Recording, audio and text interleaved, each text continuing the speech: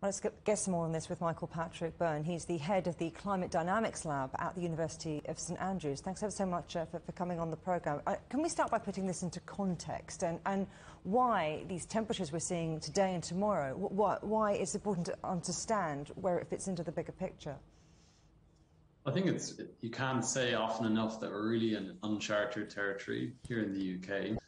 This is the first ever red weather warning for heat issued by the Met Office, which implies severe risk not just to people with underlying health conditions, but to even healthy people with this level of heat.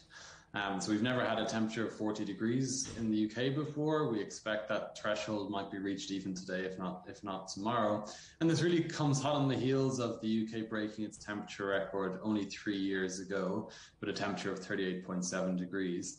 So what we're seeing is these events happening um, more and more frequently. Uh, and really, what this is telling us is that we know that the climate of London is expected to feel like that of Barcelona by 2050. So the UK really needs to be braced for more and more of these kinds of events. What do you say then to people who say, look, look, this is just a hot summer's day. Why are we making such a big deal? Sure, and well, we, we, as as mentioned, we we have had hot days before, but really the difference now compared to say the very famous heat wave of 1976 in the UK is that since 1976 we've had almost one degree of global warming. So that when these events happen, they're on a, a warmer baseline climate, so they're more severe when they come around, and that's why we're breaking those temperature records that we set in the 70s and the 80s and the 90s, uh, and since the year 2000. So these are really unprecedented events that are being um, amplified and boosted by the global warming that's happening, not just in the UK, but everywhere. You talk about unprecedented events, but do you think there's an, a case to say the continent's locked into these deadly hot summers? Or are there consequences of climate change that could cool Europe? Well, there, there's some suggestion that uh, cold snaps in winter potentially might become more likely in a warmer world, but I should say that that science is being hotly debated. Really, what we expect is a general warming, and in the summer, more extreme uh, temperatures. Now, you mentioned locked in.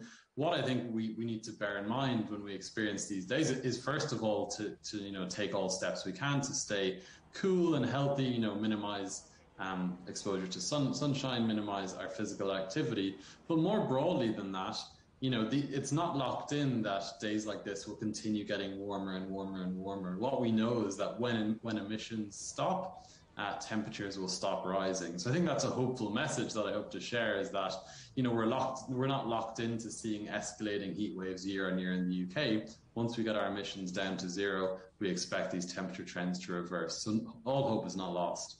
So, what can you and I do? What can individuals do? If there was one thing, one single action that we could take to, to help on climate change, what do you think it should be?